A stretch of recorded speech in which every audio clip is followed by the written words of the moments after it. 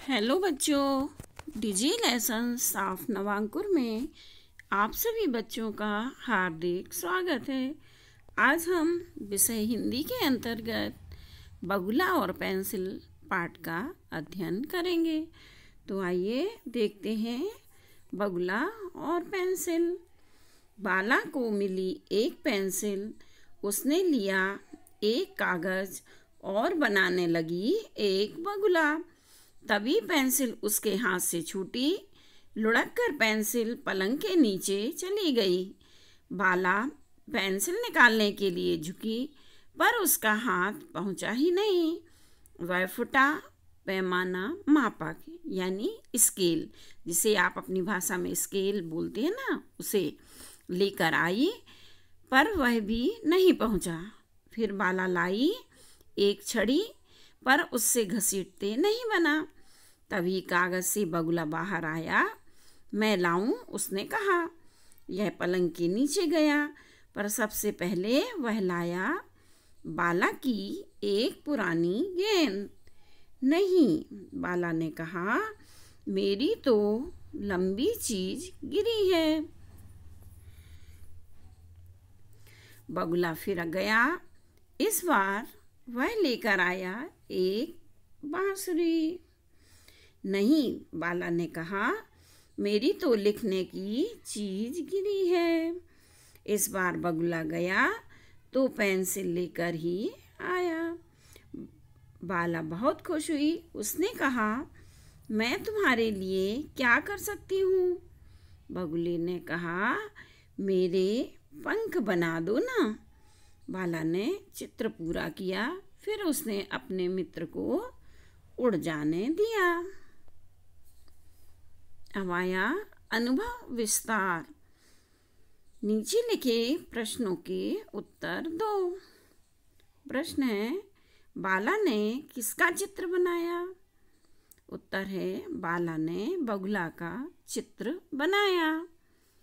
दो number pencil लुढ़क कर कहाँ चली गई थी? उत्तर है, पेंसिल लुढ़क कर पलंग के नीचे चली गई थी। फिर है, कागज़ से निकलकर बाहर कौन आया? उत्तर है, कागज़ से निकलकर बगुला बाहर आया। प्रश्न क्रमांक दो। बगुला द्वारा लाई गई वस्तु को क्रम से जमाओ। बांसुरी, पेंसिल, गेंद। तो बगुला पहले क्या लाया? गेंद, फिर बांसुरी और फिर पेंसिल। किसने किससे कहा? मैं लाऊं? बगुला ने बाला से। मेरी तो लंबी चीज़ गिरी है, बाला ने बगुला से। मेरे पंख बना दो ना, बगुला ने बाला से। तो बच्चों, अभी आपने बगुला पाठ पढ़ा। क्या आप जानते हैं बगुला कैसा होता है? तो देखिए, ये बगुला है। यह सफ़ेद रंग का होता है। इसकी चोंच लंबी होती है। इसकी टांगे यानी पैर भी लंबे होते होने। तो बच्चों, बगुला की तरह अब हम आपको और भी अन्य पक्षियों की जानकारी देते हैं और चित्र देखकर उसकी पहचान भी करवाएँगे। तो यह क्या है? कौआ कौआ तो आप सभी ने देखा होगा। यह बड़ा ही बुद्धिमान पक्षी है। यह चुपके से खाने की चीज़ उठा लेता है। सुना है बच्चों, इसने भगवान के हाथ से माखन रोटी खा ली थी। हाँ अब आया बटेर। बटेर की प्रजाति पहले अपने यहाँ नहीं थी, लेकिन अब अपने यहाँ भी बटेर देखने में आने लगा है। कहते हैं, बटेर का अंडा अस्थमा वालों के लिए बहुत फ़ायदा करता है और इसमें मुर्गी की तरह बीमारी भी नहीं होती। ठीक है ना? हाँ अब आया गिद्ध। यह सबसे ऊँची उड़ान भरने वाला पक्षी है। इसे पता है क्या कहते हैं? मुर्दा खोर पक्षी कहते हैं। यानी ये मरे हुए शव को खाता है। अब आया हंस। यह बहुत सुंदर पक्षी होता है। और इसके बारे में कहा जाता है। यह क्षीर और नीर को अलग कर देता है, यानी क्षीर यानी दूध और नीर यानी पानी। दूध और पानी मिलाकर रखें तो यह दूध दूध तो पी लेता है और पानी छोड़ देता है। यह एक बार में चार से आठ अंडे देता है। अब आई चिड़िया। चिड़िया का रंग हल्का भूरा और सफ़ेद रंग का होता है। ठीक है ना? बच्चों, इसको आपने अपने घरों की छतों पर भी बहुत बार देखा होगा। इसका वज़न 25 से 40 ग्राम होता है। अब आई चील। चील की आँखें दुनिया की सबसे तेज आँखों में मानी जाती हैं। यह डेढ़ किलोमीटर दूर से ही पानी के अंदर की मछली को देख लेती है। अब आया बाज।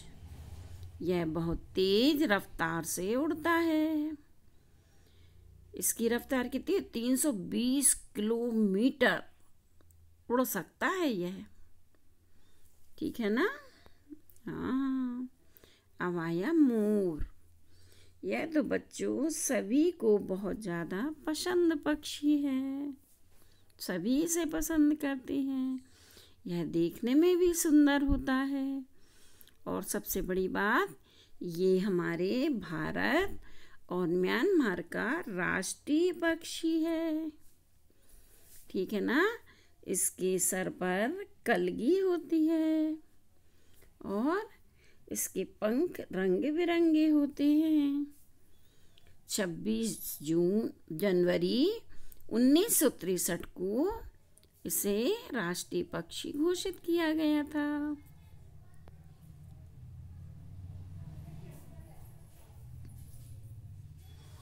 अब आया फाक्ता फाक्ता को घुग्गू पक्षी भी कहते हैं। ये क्या है? मुर्गी।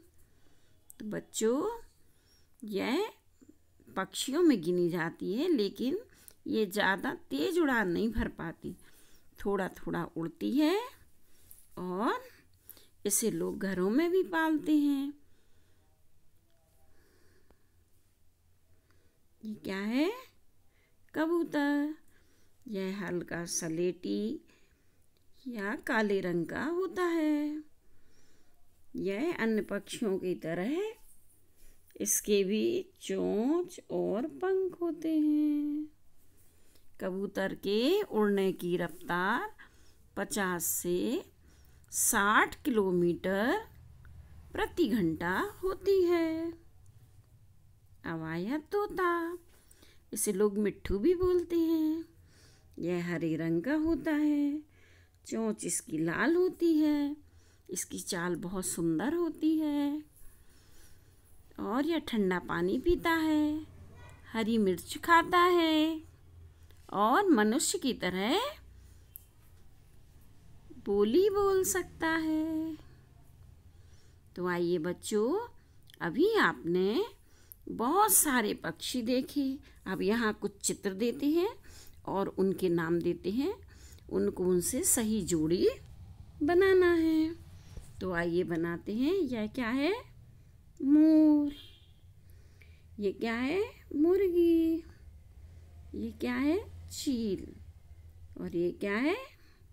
कौआ तो बच्चों, आपने पक्षियों के बारे में पढ़ा, सुना। इन प्रश्नोत्तरों को और ये जोड़ियाँ आपको अपनी नोटबुक पर भी लिखना है। तो थैंक यू बच्चों। मिलते हैं आपसे अपने अगले वीडियो में। तब तक के लिए बाय